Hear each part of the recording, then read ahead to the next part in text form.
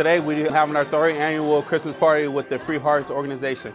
We have brought 100 kids and their family out to Nashville Books and Toy Store.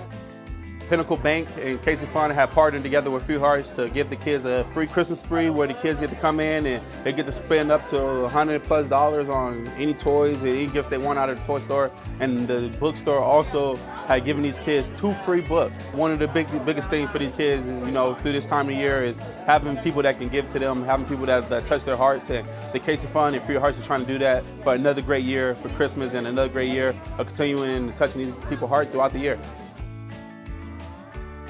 We reached out to Pinnacle Bank to ask them if they wanted to partner and you know basically match the Casey Fund of fitting it up a couple of dollars to give these kids a shopping spree. And Pinnacle didn't hesitate at all. They came with a warm heart and jumped right in with our organization and with the partnership we have with Free Hearts.